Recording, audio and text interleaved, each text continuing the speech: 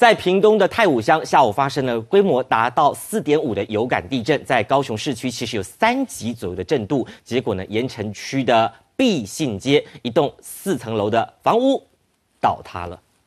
我这也路路帮撸厉害啊！四楼半的水泥房屋就像被削了一半，四楼的水泥地板垂直掉到三楼，钢筋外露不说，窗户就悬在半空中。二楼原本外头还有一块阳台地板也掉到一楼，水泥碎块掉一地，突然的声响吓坏附近居民。两点钟啊，崩落来！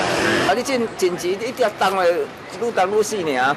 位在盐城区并信街的这处边街空屋，屋龄超过三十年。邻居说，屋主因为把房子抵押给银行，房子早就没人住。但发生崩塌的主要原因是屏东太武乡下午发生瑞士规模四点五的有感地震，结果高雄市区也有三级震度，就是地震造成房屋崩塌。年久为深，风太来了，落雨啦，不人咧徛个海烧，地动伊就崩落。因为房屋本身老旧，已经有一些毁损，没想到地震过后造成更大的。崩塌也还好，没有人经过受到波及。记者杨宗明 S N 小组高雄报道。